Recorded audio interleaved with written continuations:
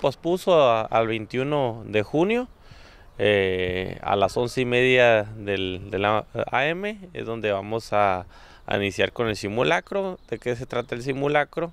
es una simulación de evacuación por hipótesis de sismo, el cual se recomienda a todas las personas que evacuan los, inmuebles, principalmente los gubernamentales. También existe una página dentro del buscador que puedes ver en, Protección Civil del Estado, entrar un link y inscribirte como un ente privado.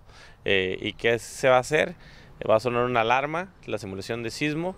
Eh, las personas se van a replegar y posteriormente evacuar el área.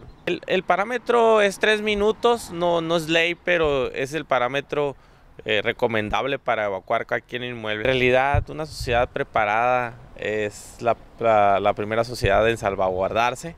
Nunca son suficientes los recursos de emergencia para poder salvaguardar a cada casa habitación en caso de un siniestro mayor como puede ser un terremoto. En un terremoto la misma sociedad es la que se debe de autoproteger eh, de una manera preparada, em, iniciando por dónde están viviendo, qué tipo de suelo es el que tienen, eh, qué tipo de construcción la que tienen, si tienen materiales no estructurales que pueden caer en ellas. Puede ser que no les pase nada por el terremoto, pero sí les puede caer un elemento no estructural y pueden perder hasta la vida. Totalmente nos debemos de preparar en esta zona no totalmente sísmica. Tenemos diferentes fallas eh, geológicas acompañadas con diferentes placas que se dividen en nuestra zona y somos impactados por los sismos totalmente en nuestra región.